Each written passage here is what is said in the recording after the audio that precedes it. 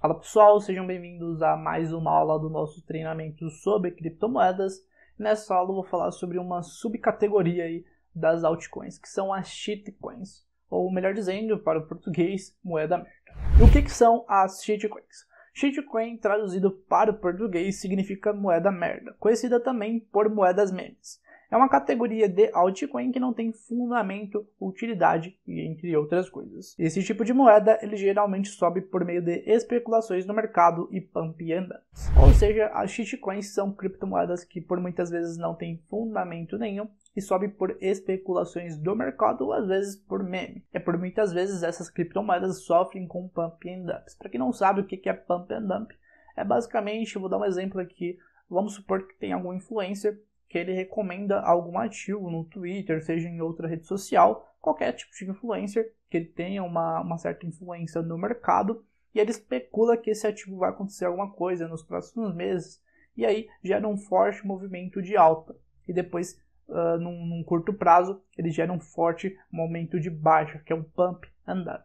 Então continuando aqui em shitcoins a maioria das shitcoins possui um fornecimento extremamente alto de moedas, na casa de bilhões, trilhões, quatrilhões e etc. O que torna um ativo ainda mais volátil do que o próprio Bitcoin e altcoins mais fundamentadas. Então, continuando aqui em shitcoins, uh, esses ativos, por não ter fundamento, utilidade e não ter um projeto sólido, podem se tornar um risco para muitos investidores, da mesma forma que esses ativos sobem de forma expressiva por conta de especulações, podendo acumular altas de 100 ou até 1000% em curto prazo, elas também podem ter fortes quedas de 80 a 100% em alguns dos casos. E aqui do lado eu coloquei um gráfico da Dogecoin que ela subiu bastante com forte especulação do mercado, mas ela acumulou uma queda de 84% no ano de 2021. E o que, que isso quer dizer para a gente? É que esses ativos denominados de shitcoins são ativos muito voláteis. Você pode ter grandes lucros, como também grandes perdas nesses ativos. Então é muito importante você tomar cuidado ao investir em alguma dessa classe de ativos. Então, continuando aqui, a primeira shitcoin. A primeira shitcoin a se tornar popular no mundo e uma das primeiras a surgir no mercado foi a Dogecoin, uma moeda criada com o código base do Bitcoin, porém com uma versão piorada do Bitcoin.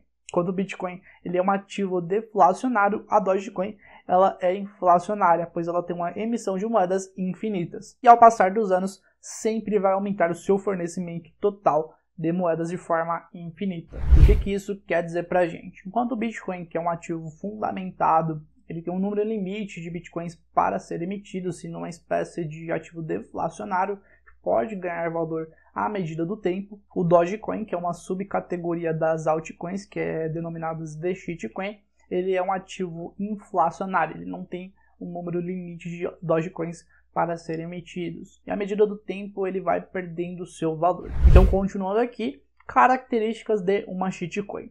Existem diversas formas para você identificar uma shitcoin. Uma delas é avaliar se o ativo tem um projeto ou é réplica de algum outro projeto fundamentado. Outra coisa que você também tem que analisar é se o fornecimento de moedas ele é extremamente alto ou ativo ele é inflacionário. Então, continuando aqui, riscos ao investir nesse tipo de ativo. Essa classe de ativo ela é muito arriscada, pois não tem fundamento nenhum e são movimentadas por especulações. Esses ativos eles são mais voláteis do que o próprio Bitcoin, podendo ter absurdas valorizações como também fortes quedas. Outro ponto também é que ela pode ser criada por qualquer pessoa, gerando uma onda de shitcoins surgindo muitos golpes. Então coloquei aqui o gráfico da shitcoin Squid Game, que é a criptomoeda do Rounding 6. É uma criptomoeda que não tinha fundamento nenhum, ela subiu por grandes especulações e até teve um momento que os caras manipularam o preço dela e ela caiu 99,9% em curto prazo. Então esse é um dos cuidados que você tem que ter ao investir em criptomoedas. Nunca invista